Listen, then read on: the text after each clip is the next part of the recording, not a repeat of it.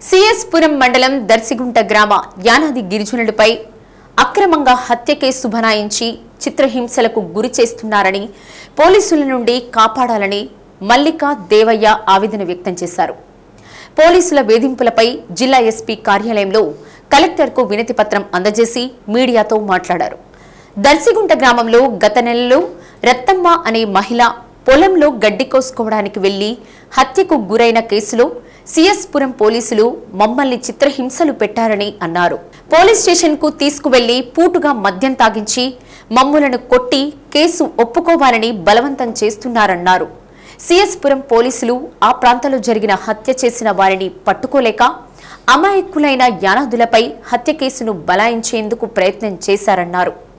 SP కలెక్టర్లను కలిసిన వారిలో బాధిత కుటుంబ సభ్యులు ఎస్సీ ఎస్టీ మానిటరింగ్ కమిటీ సభ్యులు పోట్లూరు లక్ష్మయ్య యానాది సంఘాల మహాకూటమి సభ్యులు చెల్లంచర్ల ప్రసాద్ మాల మహానాడు అధ్యక్షులు బిల్లా చెన్నయ్య ఉన్నారు. మా ఇంటి పేరు మల్లిక మల్దేవయ్య మా నాయన మా మల్లిక రంగయ్య.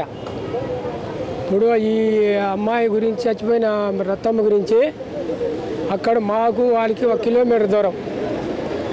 ఆ ఊరికి మా ఊరికి.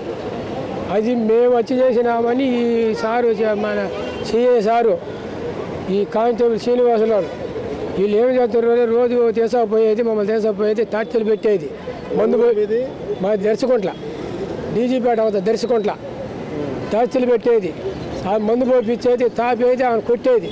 మీరు ఒప్పుకోనరా మీరే చేసినారు ఒప్పుకోనరా అని చెప్పి మమ్మల్ని ఎట్లంటే టార్చర్ పెడతారు రోజు తీసుకుపోయేది కొట్టేది చేసేది. లేకుంటే వాడు పై చేసినోడు మా బట్టిండి అంటే మాకు అన్యం పుణ్యం తెలియదు. స్వామి అంటున్నా కానీ పట పట పట కొట్టడము చేయడము ఈ రకం జరుగుతున్నారు సార్. మమ్మల్ని అన్నీ ఊరికి ప్రతిరోజు ప్రతిరోజు చేసపోవడం హోమ్ గార్డెన్ అనేది చేసపోవడం కొట్టడం ఆ రకం మాకు ఈ ఇరవై రోజులు మించి ఆ సమస్య మేము తట్టుకోలేక మాకు ఎంతో అంత బాధ పెడతాడు సార్. ఆయన ఉన్న నాళ్ళు మేము ఏం బాధ పడలేము. ఆ ఊర్లో ఉండలేను ఉండలేము సార్ మేము. ఉండవచ్చు. అంత అంశం పెడతాడు. సార్ ఇప్పుడు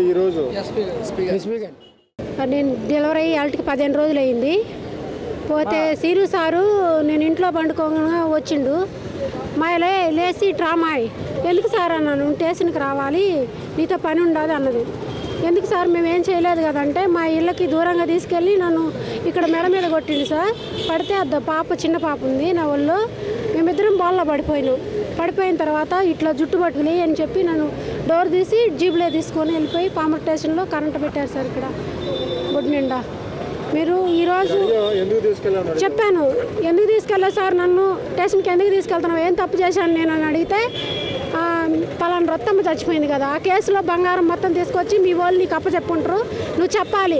అని అంటే కరెంటు పెట్టిన తర్వాత కానీ శ్రోత పడిపోయాను నేను.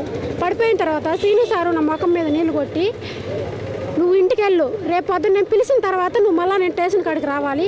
రాకపోతే నీకు ఇంకొక చోట కరెంట్ పెడతాను అన్నాడు సార్. ఇదేమన్నా న్యాయమే సార్? ఆడపిల్లని ఈ రకం పెట్టినానికి నాకు. మాకు ఎవరు బంధువులు కాదు సార్ వాళ్ళు. వాళ్ళ ముత్రాసోళ్ళు మేము యానదోళ్ళం సార్. ఏం సంబంధాలు లేవు సార్. నా మీద ఇంత కేసులు పెట్టి ఇట్టు దోపించారు సార్ నాకు ముగ్గురు పిల్లలు సార్ అద్ద పాప కూడా చిన్న పాప. న్యాయం చేయాలని ఎందుకు వచ్చాను సార్ ఇక్కడ ఈ కేసులో పోలీసు వారు అసలు నిందితులు ఎవరు? మర్డర్ చేసింది ఎవరు? ఏమి జరిగింది?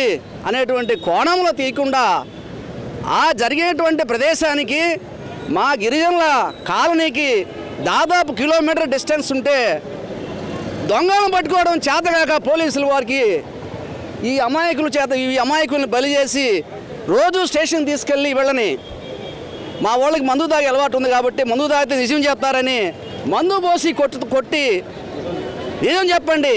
చెప్పలేకపోతే వాడు ఎవరో మీకు తెలియకుంటే మీరే ఒప్పుకోండి అని చెప్పేసి చెప్పడం ఎలాంటి దుశ్చర్య అంటే అసలు నిజంగా మనం స్వతంత్ర భారతదేశంలో ఉన్నామా? లేక ఇంకేదైనా మారుమూల ప్రాంతాన్ని ఉన్నామా అనేది మాకైతే అర్థం కావట్లే. సీరియస్గా చెప్తున్నాం పోలీసు వారికి. మీకు చేత కాకుంటే ఎవరైనా సంఘ నాయకులు లేదా ఊళ్ళో పెద్ద మనుషులు ఉంటే వాళ్ళు కూడా ఇన్వెస్టిగేషన్ చేయగలరు. మీకంటే బాగా చేయగలరు. ఆయన ఎవరో సీను సీను అంట కానిస్టేబుల్. మాకు ఇప్పుడు తెలిసింది ఎస్పీ ఆఫీస్కి వస్తే. Is not constable. ఒక హోమ్ గార్డు. ఒక హోమ్ గార్డు లాంగ్ స్టాండింగ్లో ఆడు ఉండడం వల్ల ఒక సిఐ గారిని ఇద్దరు ఎస్ఐల్ని ముగ్గురు మేనేజ్ చేస్తుండే హోమ్ గార్డు. అంటే ఇంకా ఆ హోమ్ గార్డ్ గారి చేతి వాటం ఎలా ఉందో మనం ప్రత్యేకించి చెప్పబడలే. ఇకనైనా కూడా పోలీసు వారు నిజం తెలుసుకోండి. నిజంగా ఎవరు చేశారో వాళ్ళని పట్టుకోండి. వాళ్ళని శిక్షించండి. దానికి అవసరమైతే మా నుంచి కూడా ఏమైనా సహాయ సహకారం అందించమంటే అందిస్తాం. మేము ఒకటేసారి చెబుతున్నాం.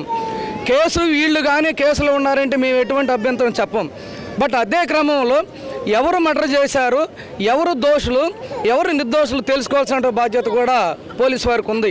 మీరు చేసినటువంటి తప్పులన్నిటికి కూడా మీ పై అధికారులకి న్యాయస్థానంలో కూడా మీరు సమాధానం చెప్పాల్సినటువంటి అవసరం ఉంటుంది కాబట్టి మేము ఒకటే చెబుతున్నామండి పోలీసు వారిని మేము నిందించట్లేదు.